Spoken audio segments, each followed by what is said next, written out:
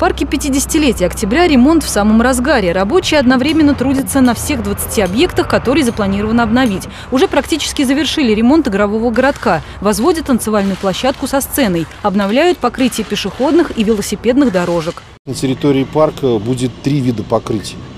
Э, Во-первых, это плиточное, тротуарное, вот на входных группах э, в трех местах, которые будут подвержены ремонту. Вокруг озера будет два вида тротуарных дорожек.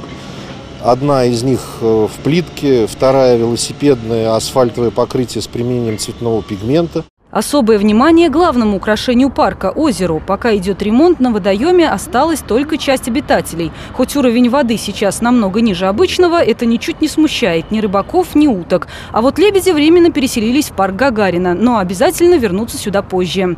В порядок приводит и фонтан «Царевна-лебедь». Сейчас специалисты снимают старые слои краски. Затем на чистый металл нанесут светолюминесцентное покрытие. Продолжается и очистка дна озера от мусора. Чего только не находили водолазы, начиная от пластиковых и стеклянных бутылок до деревянных дверей и фрагментов плит. В целом строители в график укладываются. На сегодняшний день мы принимаем работы по первому этапу. Нареканий нет. Все идет в графике. Вот, все работы выполняются согласно технологическому заданию.